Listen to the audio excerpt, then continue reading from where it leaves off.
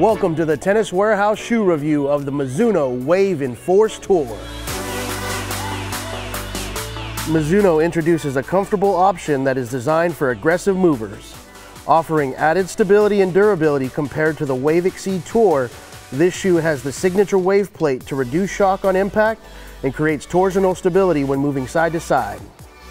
The Dynaheel lock system enhances the support and padding around the ankle, while the Dynamotion upper flexes seamlessly as you move around the court.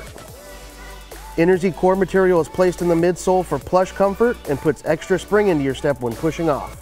Lastly, the Do Rubber outsole holds up well on the hard courts and supplies a good mix of grip and sliding capabilities. The first thing I noticed with this shoe was the fit. Uh, they fit pretty wide, uh, even for me. Uh, I had to wear my thicker TW socks and really cinch up my laces from the bottom all the way to the top to get a more locked in feel. Uh, the other thing I noticed immediately was that these shoes felt more cushioned than the Wave Exceed Tours. Um, they just feel more substantial in the cushioning uh, compared to those shoes. Uh, now, once I got it on court and I had my laces cinched up, I thought the performance of these shoes were very good. Um, I felt very confident moving side to side in them. Um, I really had no issues with it, although I would have preferred a slightly more rigid upper um, or a mid-foot shank I think would have helped uh, in this case as well. Um, but luckily, I thought the outsole was fairly slick, so I was able to slide out of my shots and I didn't feel like I was getting stuck at any point.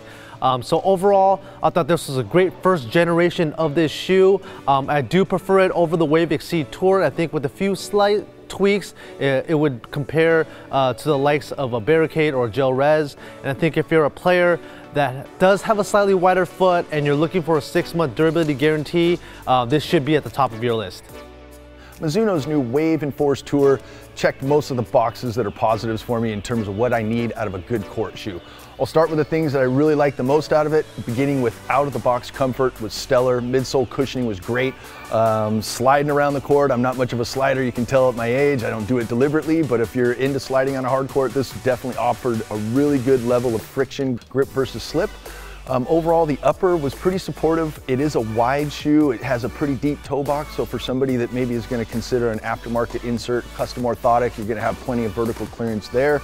Uh, the laces are pretty long, so I think that's really going to accommodate an adaptive fit. I don't have the widest foot, but I did, using the laces, get a really good customized secure fit out of the shoe. The heel cup, very cushioned, holds my feet in uh, place very well. I can take width of the shoe up front, but not back, so I didn't have to use any of the empty eyelets. Just overall durability, this is a sole warranty shoe like Jay mentioned. There wasn't really anything uh, but positives out of the shoe. I would consider this for myself, maybe more of a practice or a session shoe, where game day I'd probably want something a little lighter and lower to the ground. Overall, just a great shoe, great play test. Coming into this play test, I had high expectations uh, because I was a big fan of the Wave Exceed Tour 3, and I also really liked the 5 as well, um, just for being really lightweight and having really good uh, comfort and underfoot cushioning.